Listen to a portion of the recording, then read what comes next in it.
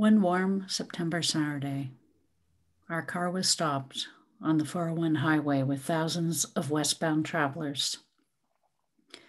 My Karen and our six year old Nigel on board, the speeding traffic had abruptly come to a standstill.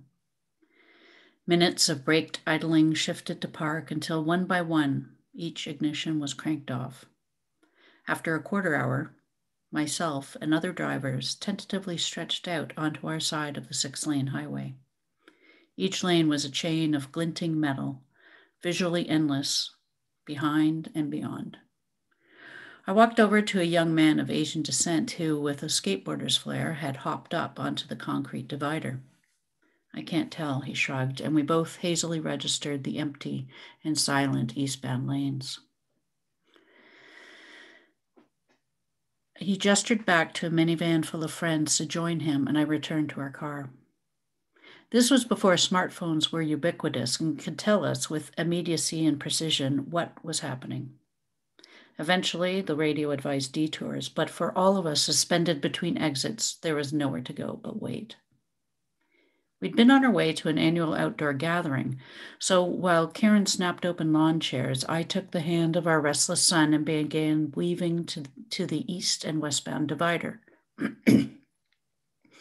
I hoisted him up onto the concrete barrier and we walked confident he walked confidently, sometimes reaching for my hand, sometimes pushing it away. When I spied a dead rabbit nestled on the other side of the barrier, I lifted him onto my back and we rambled through the clusters of drivers and passengers, children and dogs, all taking in this suspension of life. The strangeness of walking the 401 was enhanced by insects chirping from a culvert while cicadas buzzed and birds sang from intermittent stands of trees centured between highway and farmers' fields deep summer sounds and the sky a vivid blue, the sun hearkened me back to the hot stillness of late July, a sharp contrast to our recent rushing agenda that the back to school season brings.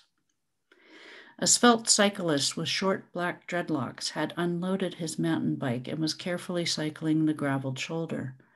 Four pot bellied white men sat in a speedboat playing cards, their goatees jumping with laughter, baseball caps bobbing, and meanwhile, the youth had left their minivan to throw frisbee around in the empty eastbound lanes. We passed people lunching from their picnic coolers, people visiting, people wandering among the tall grasses and ditches beside the highway, and there were pipers. Two men of Scottish ancestry, tall, thick bodied and neatly bearded, squeezing the bags hugged under their arms as they faced one another in matching kilts. A few older women, gray hair under babushkas and paper plates in hand, offered us potato salad. We listened together, and I was transported from parade to ceremony before the pipers ended their recital with the beauty of amazing grace. My son was drawn to the cowboy hat and pickup truck of another traveler, her friendly face deeply tanned and lined like she'd worked the fields her whole life. She offered us water and let Nigel play in the back of her cab.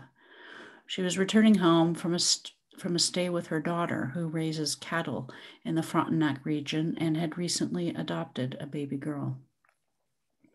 It was a cornucopia of peoples, all of us having departed from and traveling to singular destinations, and suddenly thrust together in happenstance like crowds celebrating a city championship or neighbors emerging after a tornado. Common strangers sharing an uncommon occurrence. Some late for weddings, some late for funerals, each and every plan upended and every one of us at some point in the hours of stoppage frustrated and impatient and doing the math of what if I'd left just a little later or a little earlier? And well, this changes everything. Mutterings of vexation that are quickly muted when the air ambulance flies overhead.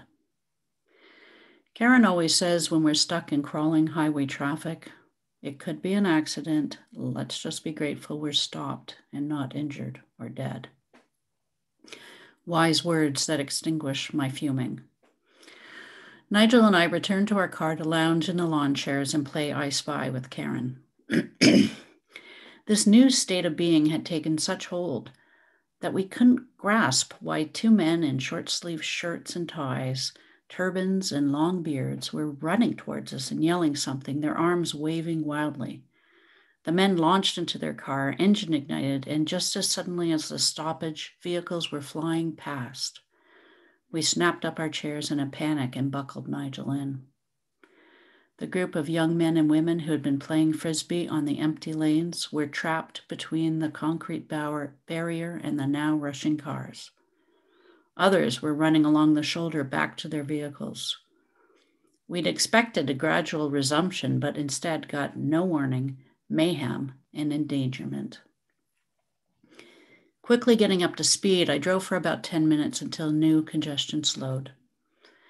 Slowed us The flash of trauma as palpable as the, uh, as the child's running shoe, stuffed animal, and bloody denim swept up with glass and metal debris on the side of the road. Just last week, online with friends, we mused about what life will be like after the COVID lockdown is lifted and we all go back to normal. What shape will normal take?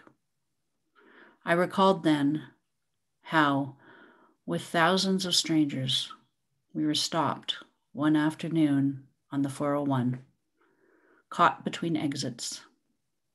And I remembered when, f- with fondness and gravity, the convergence of lives suspended and the cost of lives lost.